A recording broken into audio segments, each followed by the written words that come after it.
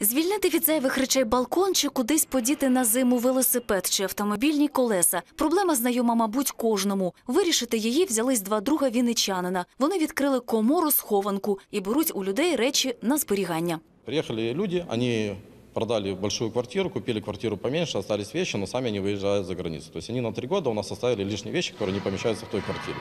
Ці автомобілі люди залишили на зберігання, а вінничанин Микола в готель для речей приніс бойлер. Розповідає, поки квартиру не звільнять квартиранти, чіпляти його не буде. Тож, аби апарат не заважав, помістив його у бокс на місяць.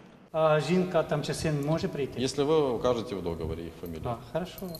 Речі у боксі можна залишити від тижня до року. Сім днів зберігання коштує 63 гривні або 270 на місяць. Розмір схованок від 1,5 до 12 квадратних метрів. У схованці 115 боксів. Кожен з них пронумерований і має свій об'єм. Все залежить від того, що людина хоче залишити тут на зберігання.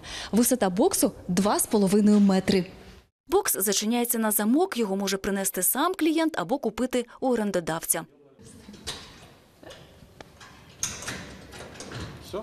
Безпеку орендодавці гарантують. В приміщенні є відеокамери, територія охороняється, а на випадок надзвичайної ситуації В условиях договора есть прописана определенная сумма э, в случае и какие случаи мы компенсируем. Плюс, кроме этого, можно застраховать свое имущество по спецтарифам страховой компании. То есть у нас есть договор со страховой компанией, есть Ідея зберігати чужі речі хлопцям прийшла торік. Запозичили її у схожих американських і німецьких компаніях. Так в США перші послуги індивідуального зберігання з'явили ще у 60-х роках ХХ століття. В Україні ж цей бізнес тільки но почав розвиватися. Орендують приміщення для зберігання побутових речей в індивідуальних коморах сьогодні вже в Одесі, Києві та Львові. Олена Гук, Олег Літвінцев, телеканал Віта.